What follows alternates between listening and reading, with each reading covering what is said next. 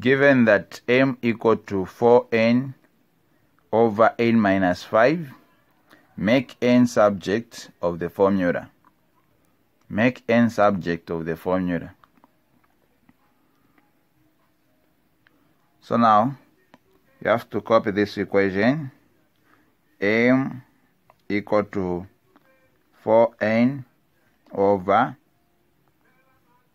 n minus 5 so in this equation, they want us to make n subject of the equation.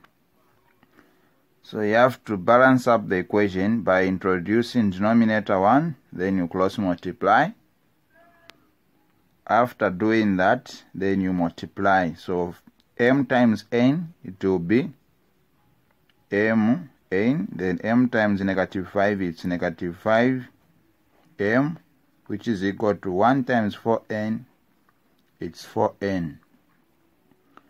So now after multiplying the terms, you have to group now the terms that contains n, since we are making n subject of the formula.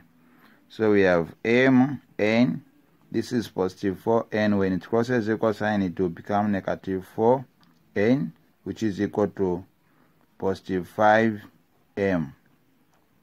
So now at this point in time, you have to factorize n because it is eh, what you are making a subject. So n out, then you remain with the m minus 4, which is equal to 5m.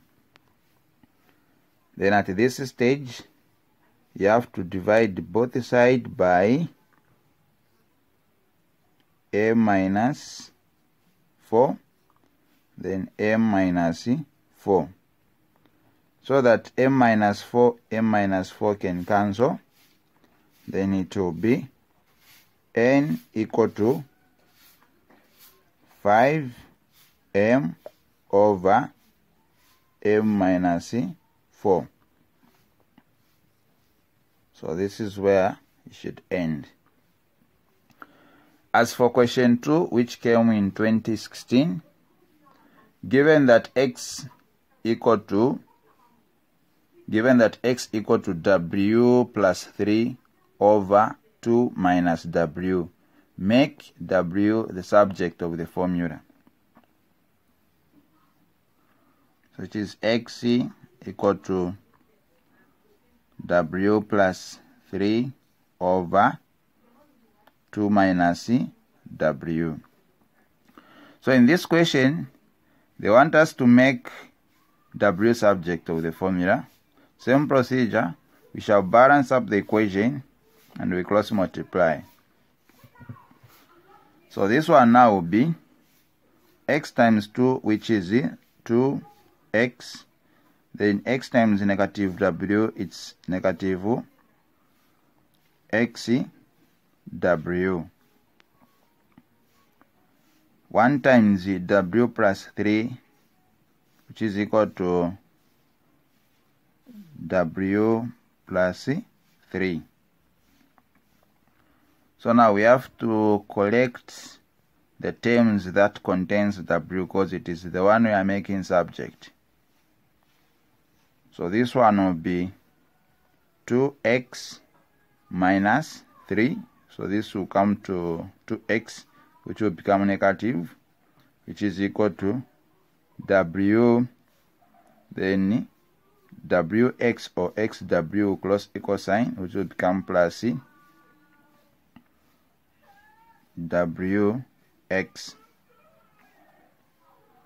So at this stage, we have to factorize w, so it will be 2x minus 3 which is equal to w out then we remain with 1 plus x.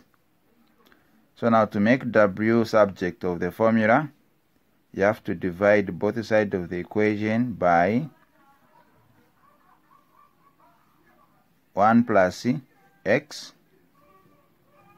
1 plus x then you cancel 1 plus x, 1 plus x. So it will be w equal to 2x minus c, minus 3 over 1 plus x as the final answer. So you have to make sure that in your final answer, you should not have w to the other side. Should make sure that w is being eliminated. If there are questions, you are free to ask. Thank you.